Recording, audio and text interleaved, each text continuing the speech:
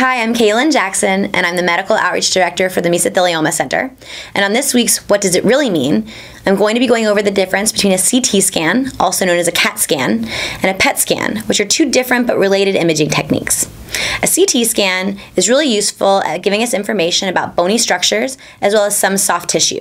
It answers the question, what does it look like? For example, a CT scan is effective at discovering abnormal growths or tumors that could indicate mesothelioma.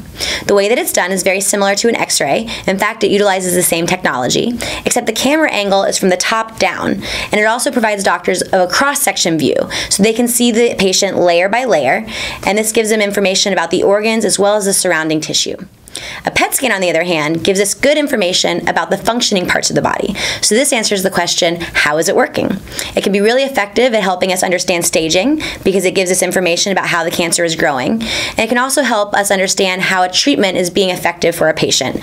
The way that it's done is the patient is injected with a tracer that then zooms to the most energy consuming parts of the body. And actually, when you look at the scans themselves, it's going to look really similar to when you tune into your local weather channel. So you see areas of blue and green, as well as hot zones of red and orange, and these are the most energy consuming areas. This is going to be the heart, the brain, as well as any areas where there's rapid cellular growth, which could indicate cancer.